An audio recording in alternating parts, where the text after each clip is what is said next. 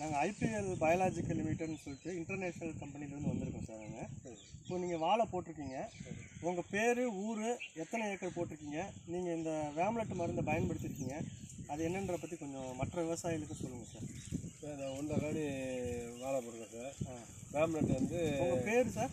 என் பேர் Krishnamurthy sir. Krishnamurthy. Merkudi sir. Mekkudi கிராமம். ஒன்றரை தாலுக்கா அண்ணாநல்லூர் ஒன்றியம்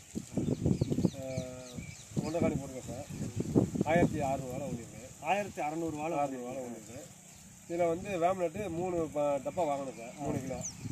ஒரு டப்பாவும் ஏழ்நூறு மாத்திரம் தாங்க சரிங்க.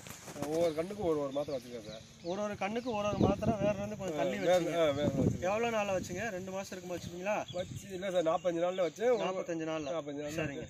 அப்போ ஒரு ஏக்கர் வந்து இருபது நாளில் வச்சேன் சார். சரிங்க ஆ. வச்சு இப்போ கொஞ்சம் தானா பழம் இல்லாமல் கம்மியாக இருக்குது சார் முன்னாடி. தானா பல்லாம இருக்கு வேர் வளர்ச்சி வேர் நல்லா வளர்ச்சி. நீர் வளர்ச்சி நல்லா நல்லா? நல்லா இருக்கு. ம், சரிங்க. இதுதான் மாத்திரை இல்லைங்களா? ஆமாம் சார். இந்த டப்பால. ஒரு டப்பால எத்தனை மாத்திரை இருந்ததுங்க? ஏழ்நூறு மாத்திரம்னு சொன்னார் சார் நான் எண்ணி பார்க்கல. எழுநூறு மாத்திரை இருக்குது. இப்போ வந்து இந்த ஒரு மாத்திரை எடுத்து வேர்ல இருந்து எப்படி வச்சீங்க? எந்த இடத்துல வச்சீங்க? காட்டுங்க.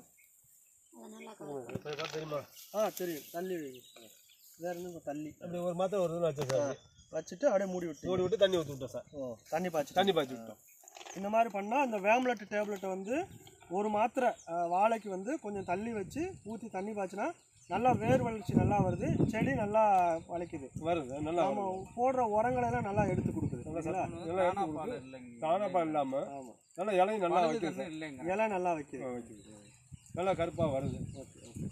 அஹ் அன்பான விவசாய பெருமக்களே சார் என்ன சொல்றாருன்னா இந்த வேம்லெட் அப்படின்ற மாத்திரையை வந்து நம்ம வாழையில் வந்து ஒரு வாழைக்கு ஒன்று வச்சு நல்லா தண்ணி கட்டுனீங்கன்னா வேர் வளர்ச்சி நல்லா வருது தானா பால் இல்லாமல் இருக்குது அழுகல் இல்லாமல் நம்ம கொடுக்கக்கூடிய உரங்களெல்லாம் எடுத்து கொடுத்து பயிர் நல்லா வளருதுன்னு சொல்கிறாங்க அதனால் அனைத்து வாழை விவசாயங்களும் இந்த முறையை பயன்படுத்தி நீங்கள் பலன் பெறணும்னு கூறி விடைபெறுகிறேன். நன்றி வணக்கம்.